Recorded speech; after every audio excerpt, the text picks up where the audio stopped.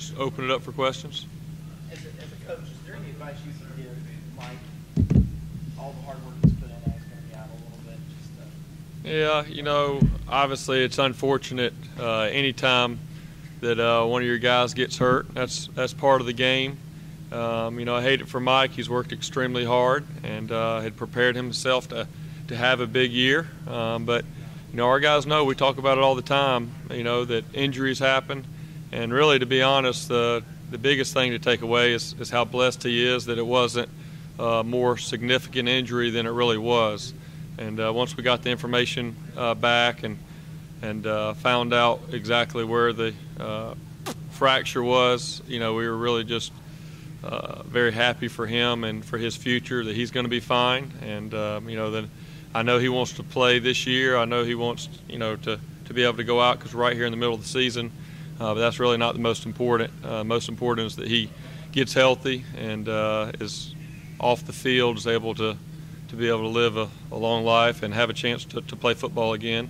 And and we have every assurance that he'll be able to do that. But you know, you, you can't play the game scared. Um, you know, that's what talk to the wideouts and skill guys all the time. You got bigger, faster, stronger athletes going out there, and in order to do what they do, you got to be able to play fearless. And uh, you know, and and he did. Uh, he had a heck of a heck of a drive and ended with a touchdown. And uh, so I, I, have no doubt he'll be back. He was the first one. We had 6:30 meetings this morning, and Mike was the first one uh, to show up. And I thought that that meant a lot uh, that he was there, and and uh, he'll he'll be able to help uh, coach and, and help with that group here as we go over the next few weeks while he's recovering. How difficult is it when, when you see him down on the field? I think you've got all this yeah. responsibility for him, but you've got a job to do and, and reeling the other guys back. Uh, yeah, my, my first questions, uh, I went through the checklist, uh, was is it his knees okay? He break a leg? Is his ankles okay? And really, uh, Mike's kind of been a dramatic guy. He's he's uh, got banged up before in practice. He ran into a ball machine one time over there in the indoor. He's always kind of been a dramatic guy. When he gets hurt on the ground, he's down a little longer than the normal player. So really, to be honest, I thought he was going to be okay once I heard it didn't have anything to do with knees or shoulders or uh, ankles. And uh, but then you know once we kind of found out it was a little bit more serious, you know uh, you hate that and you could see you know the other guys on the field, Deshaun and uh, you know those wideouts. You know that's one of their guys. And uh, but you know we the best part that came out of it is just to know that uh, it could have been a lot more serious than it was, and um, you know he's blessed uh, to be able to come out of a uh, hit like that uh, where he is with a small fracture and something that'll be 100% uh, healed here with time. Yeah, you know, I think kind of what Coach Swinney said yesterday is probably the best way to phrase it. You know, they're going to reevaluate it in six weeks. You know, if if it was one of us that's not playing football, I think after six weeks you can probably take the brace off and be okay. But uh, coming back to play a, a sport where you know you got a helmet on and there's a lot of hitting going on, that that's probably a little bit different than the average person. So, you know, for us, we're we're we're um, you know we're we're going to give him plenty of time. We've got great doctors uh, that'll be looking at him and and be able to give us updates. We'll, we'll, get another update later on this week, and you know each week how, how the healing's taking place, uh, and then you know the other guys in the room, you know, just got to get together and, and go to work and be able to uh, you know pick up for anything uh, that we'll miss with Mike being off the field.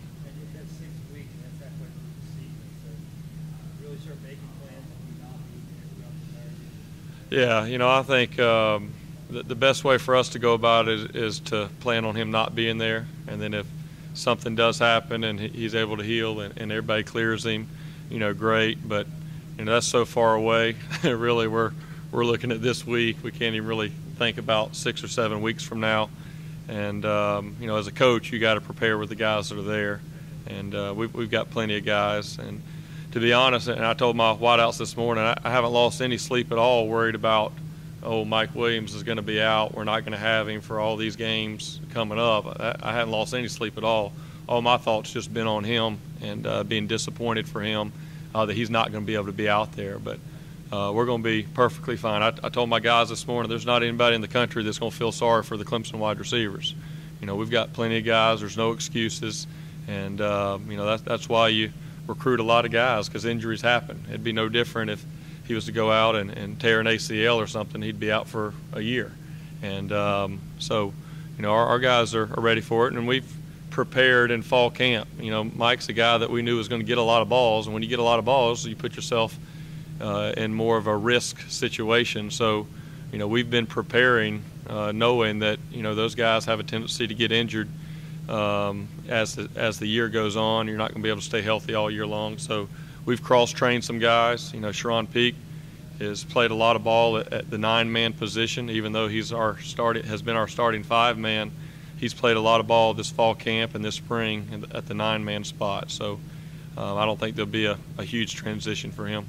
Jeff, who becomes your best guess? Who becomes the downfield target now that wins? Well, I think um, you know Charone uh, will be that guy. R- really, it's more about um, you know our, our, scheme and kind of where our shots line up within our scheme, and then also who you're playing each week. It kind of changes you know, last week we were playing a team that really liked to play off, so you had a lot of the, the quick game, and then as soon as you get guys that come up, and these guys this week will be a little bit more aggressive and, and get up in your face and play a little bit more man coverage. But uh, Charone's a guy, you know, since he's been back from his injury and, and getting back full speed, uh, he's had a really good fall camp. Uh, he had a 72-yard touchdown in a big scrimmage for us, and has caught plenty of balls. So I think he'll be one of those guys, and I think also uh, Artavis Scott. You know, he's really worked hard on – developing his down the field uh, receiving skills. And, you know, we're not able to see it uh, this past uh, weekend because of the scheme that Wofford was running. But, you know, I think he'll be able to, to bring something on there as well. And, you know, I think also uh, a few of those younger guys, you know, really the, the, the, the message to my guys this morning is, you know, we're, we're not going to make up for Mike Williams' production in one player. You know, the, the next guy that comes on now that Mike's to the side – whether that be you know Hopper, Trevion Thompson, Hunter Renfrow, Deon Cain, you know, or Ray Ray McCloud, they're not going to make up for 1,200 yards and 12 touchdowns. Uh, but as a group, we can make up for that. You know, it's that's a you know it's an extra 100 yards per receiver in that room, so it's an extra 10-yard catch per game. And so that's really the message to all the guys in the room is, hey, we don't have to have one guy come in and, and try to replace Mike but as a group and as many guys as we're rolling and as many playmakers that we have in the room. And then also you got a guy like Jordan Leggett who now has really come on, and I think Jordan's going to be uh, a bigger factor for us uh, down the field as well. So, um, I, you know, our, our, concern really has really been all about Mike, and uh, I think we we feel very confident uh, with those guys in that room and uh, with the quarterback we have that we'll be able to take many plenty of shots down the field.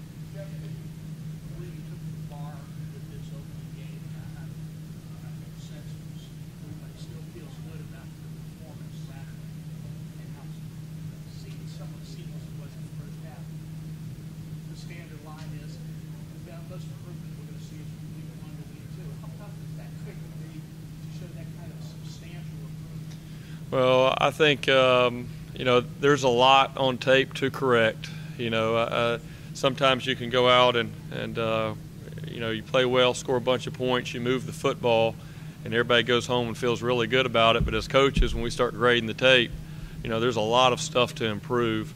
And uh, but it's a it's a uh, nice to be able to make those improvements and make those those changes after a win and not have to wait to a big loss to, to be able to get serious about some of these things uh, that they need to correct. And really, it's uh, technique, uh, fundamentals. It's it, you know getting out there the very first time and playing. Sometimes you get excited, you get juiced up, and you forget about some of the details. So, you know, I, I think there's a lot to correct. Number one, now seeing uh, you know, seeing that progress, we're, we're playing a, a, really good team in App State. Uh, I think their defense last seven games, uh, last six of 2014, and then first game in, in uh, 15, they're averaging giving up 255 yards total defense, which is pretty strong. So we're going to have a confident uh, defense that's coming in here. Uh, they'll create some more challenges for us than maybe we had last week. And uh, but you know that's how our schedule is going to be. It's going to continue to get harder each week. Um, so you know I think really that Coach Swinney's message has been um, the same since day one for our players is it's all about us. And uh, yes, we, we did some did some good things, but we got a lot of things that we can correct and a lot of things that we need to improve on if we're going to have a chance a few, against a few of these uh, other teams down the road. Coach, I asked Ray Ray uh, how he's managed to look so polished uh, with his route running and his blocking as a wide receiver already. He attributed that to being a really student of the game. Is that something that stood out to you about him, his acumen, his dedication to learning the game? Yeah, you know, I think uh, as freshmen, I've seen two different type of freshmen that come in. Uh, you have the majority of them come in and they don't know what they don't know, and they have to go out there in the game to kind of figure out, oh, that's why you've been telling me that for the last month and a half. Now I see. Now I'm going to go get it corrected. And then you have the other ones that come in that understand that it's going to take more than just talent to be able to execute at this level. And Ray Ray was one of those guys, you know, that, that came in and uh, wanted to be a student of the game and uh, takes good notes. He sits next to Artavis in the meeting room. Them guys are going back and forth over all the small details, you know, much like uh, some of our other older guys did with Artavis whenever he was coming in. Um, but yeah, I've been very pleased uh, with Ray Ray, and I mean it was it, it went exactly like I was hoping for him as a freshman in his first game. You know, there was no big eye moment or anything like that. I mean, he he went out there, and, and, you would have thought he's been playing for us for, for two or three years. As an offensive coordinator, did you guys give you the play sheet you wanted to this weekend? Yeah, I think you know going into it being the first game, and then schematically what they were doing, um, we felt like we could be pretty simple and uh, really work on our tempo, playing fast, coming right out of the gate, and we were able to do that. And then as the game went, obviously there's certain things you would like to hold uh, for other games coming up, and we were able to to do that, but we had them in case we needed them. You know, you don't have to go very far back to 2011, you know, to know we were in a one-point game going into the fourth quarter. So we had to be sure that that we had enough to win the game if we needed to in the fourth quarter. But uh, because of the way the guys executed early on, we were able to stay simple and play fast. How do you feel about the running back corps and the ability to get production out of almost every running back you put out there Saturday? It's good. Uh, I was very pleased. It, it uh, really mirrored what we've seen in spring practice and fall camp. You know, we feel like, you know, we've got a room full of guys that can go out there and execute. Each one of the guys kind of brings something a little bit different. And uh, I think what you see too is you see some fresh legs. I mean, Zac Brooks comes out there right off the sidelines, and man, he's fast. Gets up there, and you know that defense has been out there the entire game.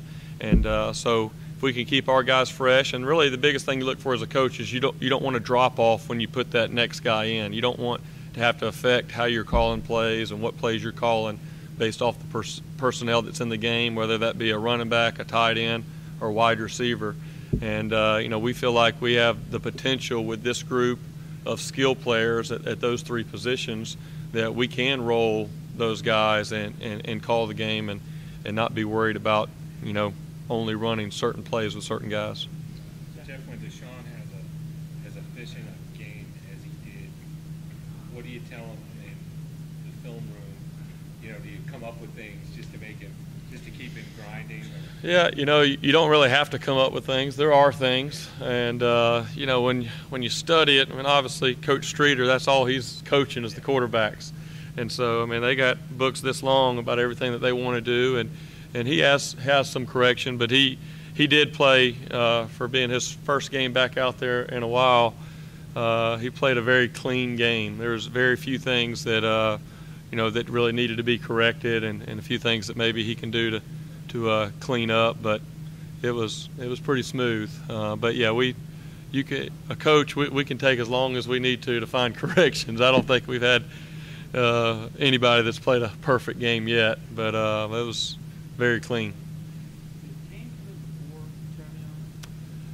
I don't believe so. I believe Trevion came in first, and then uh, Deon played after that. But he did play in the uh, in the first half, and and then uh, once we had the injury, I think uh, Trevion went to the five-man position a little bit, which gave Deon a little bit more uh, opportunity in the boundary.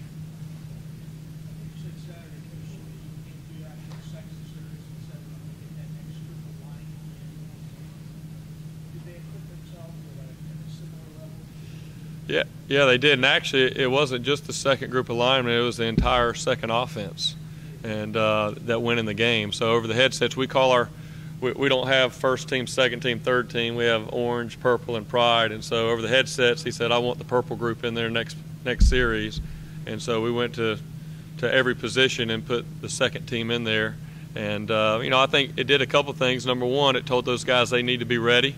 It's not one of these deals where you can just wait around to the second half. And number two, I think it showed the confidence that Coach Swinney and our coaching staff have in that group, um, because you're not going to put them out there in the third series of a game and uh, really try to slow down the tempo if you don't feel like they can go and execute. But uh, I know Coach Caldwell is very pleased uh, with his first group and second group that got out there. There's a lot of things to clean up. You had a lot of uh, guys were getting some first-time action, uh, but overall, I felt like uh, they did a really good job going in there. So I think that was a, a huge benefit for them to get that experience early in the game.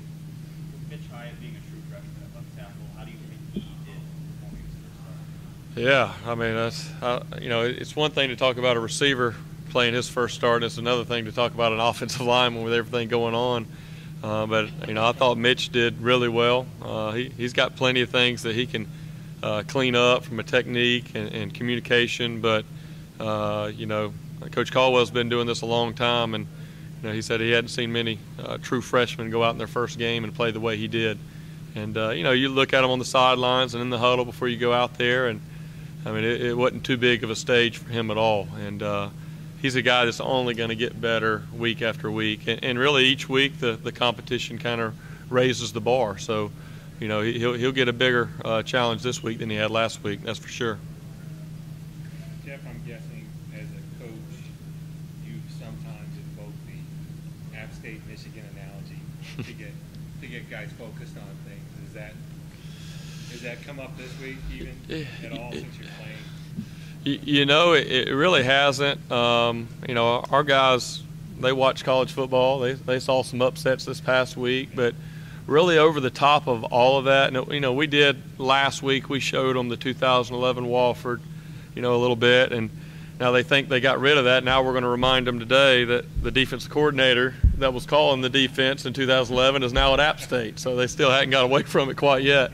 Uh, but really, I think Coach Swinney kind of takes it a level higher. And when he really talks about it's not about who we're playing, it's about how we play.